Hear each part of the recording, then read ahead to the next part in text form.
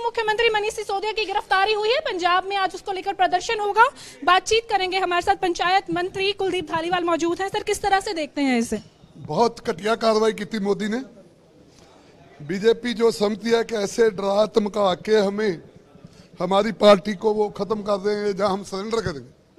वो बहुत बड़े भुलेखे में शहीद आज़म भगत सिंह के विचारों वाली पार्टी है। एक मनीष सिसोदिया को पकड़ेंगे, सौ और पैदा हो जाएँगे। तो वर्ल्ड वाइड इतने बड़े, उच्चे नाले शिक्षा मंत्री को ऐसे पकड़ना, आप समझ सकते हो कि देश किधर जा रहा है डेमोक्रेसी कैसे खत्म हो गई है देश की।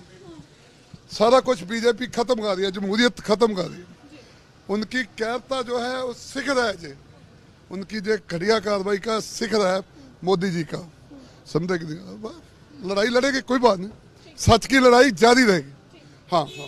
हमारे साथ कैबिनेट मंत्री कुलदीप धालीवाल जिनका कहना था कि सच की लड़ाई जारी रहेगी और इनकी तरफ़ से भी जो है कानूनी कार्रवाई लड़ी जाएगी। मनीष सिसोदिया की गिरफ्तारी गलत है। वीडियो जर्नलिस्ट राहुल के साथ खबरें अभी तक के लिए चंडीगढ़ से हरसिमरत।